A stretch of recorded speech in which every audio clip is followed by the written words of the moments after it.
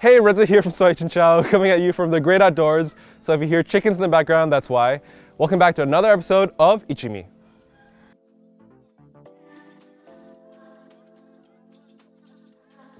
Microsoft just launched the Surface Laptop SE, a laptop built for kids for use in the classroom.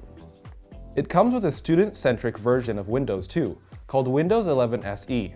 Windows 11 SE is a more streamlined OS built for kids to use, but also comes with things like web-based learning apps. It'll also have third-party app support for test-taking programs, content filtering, and tools to help teachers conduct class. Under the hood is either the Intel Celeron N4020 or N4120 with Intel UHD graphics. It gets up to 8GB of RAM and up to 128GB of storage. The screen, meanwhile, is an 11.6-inch 768p display. This laptop will last your child up to 16 hours of use. Other features of note include a 1-megapixel webcam, a built-in microphone, and a pair of stereo speakers. Unfortunately, there's no word just yet on when it will be launched in Malaysia.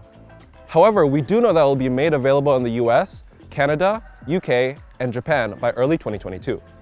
It'll be priced at $249, which is about 1,000 ringgit for the base model, with N4020 CPU, 4GB of RAM, and 64GB of storage. While the higher spec model with N4120 CPU, 8GB of RAM, and 128GB of storage will set you back USD 329, which is about 1,300 ringgit. You might have heard about Apple's new trap on the iPhone 13 regarding third-party screen repairs. It turns out that Apple changed their minds and are issuing a solution soon. If you are unaware of the trap, the iPhone 13 completely loses Face ID functionality when a third party replaces its screen. There was a workaround, but it required moving over a tiny microcontroller from the original screen over to the new one. The good news is that Apple plans to roll out a software update that doesn't require you to transfer the microcontroller to keep Face ID working after a screen swap. We knew this kind of software already existed, as Apple authorized repair shops already had access to a software tool that can make a phone accept a new screen. Apple didn't specify when exactly this software update will arrive, but knowing that they have the tool made, it shouldn't take too long. Grab is launching a new option called Intercity, which will allow users to book bus and ferry trips so you can travel intercity and interstate. The Intercity feature provides over 15,000 bus and ferry routes throughout Malaysia. Users will be able to book a ticket, pay with GrabPay, and earn Grab Rewards points. To use it, first open up the Grab app, then go to Transport and select Intercity. There will be an option for bus or ferry. The next step is to insert your trip details. You can either book round trip or one way, and you need to specify the locations, dates, and numbers of passengers. After your trip is booked, it is important to follow the SOPs in place. This includes showing your vaccine certificate, reducing interaction, and wearing a face mask throughout your journey. Acer has officially announced the Acer Aspire Vero laptop for Malaysia. Part of Acer's sustainability drive, the Aspire Vero is what they're calling a green PC, with a chassis that's made out of a post-consumer recycled plastic while they're having a very solid spec sheet. According to Acer, this design choice means that each Aspire Vero saves around 21% of carbon dioxide emissions compared to a normal laptop.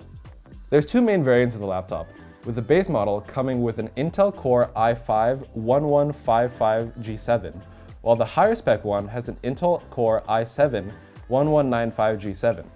While the Core i7 model comes with 16GB of RAM, the Core i5 will only have 8GB of RAM on board, though it's upgradable to 16GB with normal RAM.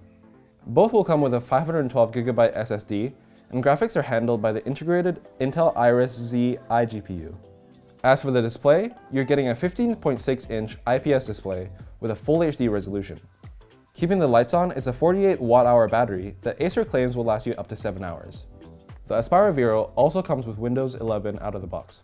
The Acer Aspire Vero starts at 3399 ringgit for the Intel Core i5 model, while the higher spec Intel Core i7 model will retail for 4299 ringgit. You can already pre-order the Acer Aspire Vero, but you might want to wait until 1111 as from then till the 19th of November, purchasing the laptop will entitle you to free gifts such as a backpack, a wireless headset, touch and go e-wallet credit, and more.